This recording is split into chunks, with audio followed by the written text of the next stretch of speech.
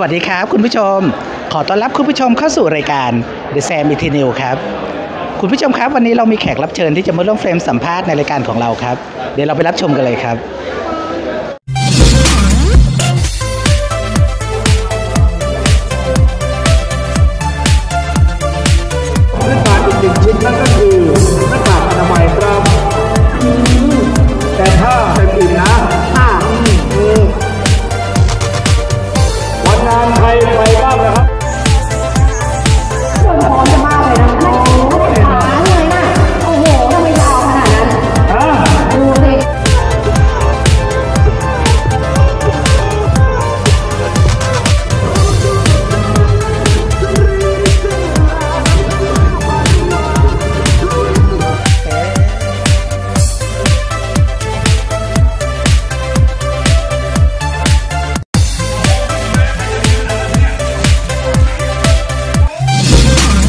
นี่เลยบีบีคนสวย Miss Earth ของเราสวัสดีค่ะ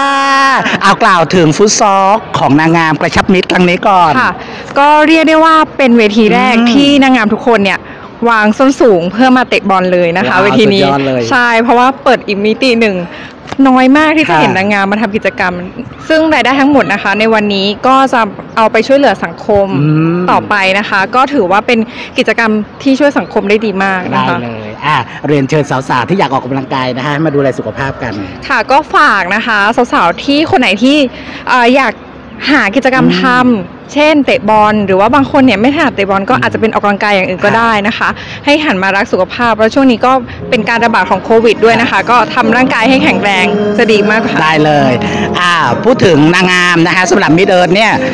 สาวๆที่อยากมาประกวดเนี่ยต้องเตรียมตัวอย่างไรบ้าง ค่ะก็ฝากน้องๆนะคะที่จะมา Miss Earth Thailand ปี 2022 นะคะ ก็